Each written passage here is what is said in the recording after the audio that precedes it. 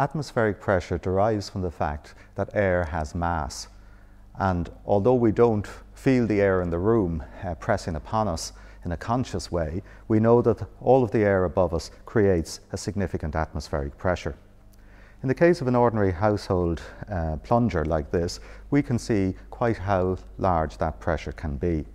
By carefully aligning them and pushing them together, students will see that they can squeeze out the air between the two, and as they then pull them apart, a very significant force is needed to separate them. And the, the strongest two students in the class may fail to do so.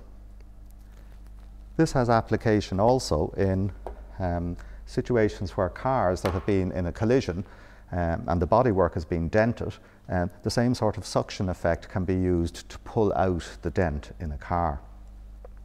We can see quite how strong the force is if I take the table here and by pressing downwards on these plungers, uh, force out the air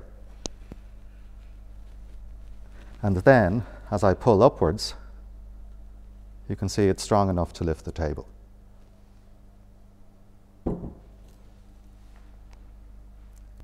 Likewise, we could try it with this.